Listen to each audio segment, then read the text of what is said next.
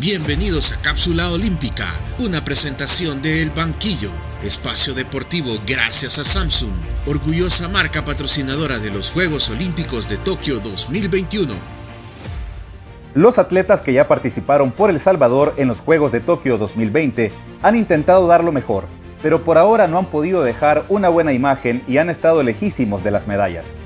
El nadador salvadoreño Marcelo Acosta, quien portó la bandera del país en la inauguración, tuvo un gris paso en su primera prueba en Tokio 2020, al terminar este martes en el puesto 31 entre los 34 participantes en los 800 metros libres, distancia que nunca se había disputado en Olímpicos. Si bien Marcelo terminó segundo en su hit de clasificación, su crono de 8 minutos 3 segundos para cubrir la distancia estuvo lejísimos de su mejor marca personal, que es de 7 minutos y 55 segundos, según los registros de la Federación Internacional de Natación, tiempo que logró cuando Marcelo tenía 21 años en la Copa del Mundo disputada en Hungría en 2017. Cabe recordar que Marcelo se colgó una medalla de plata en los Juegos Olímpicos de la Juventud en Nanjing, China, en 2014, en la prueba de los 400 metros libres, en la cual no va a competir en Tokio 2020. Dato curioso, el oro en esos Juegos Juveniles de 2014 fueron para el rumano Mijailo Romanchuk,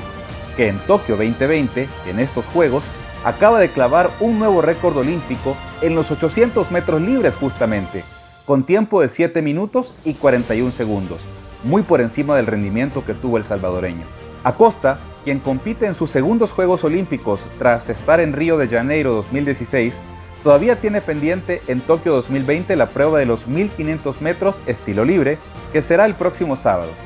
En esta distancia su mejor tiempo histórico es 15 minutos 4 segundos, logrados también en el Mundial de Hungría 2017. Así que toda la fuerza para Chelo Acosta y que este sábado intente dar lo mejor en las piscinas japonesas. Esto fue Cápsula Olímpica, presentada por El Banquillo, espacio deportivo gracias a Samsung, orgullosa marca patrocinadora de los Juegos Olímpicos de Tokio 2021.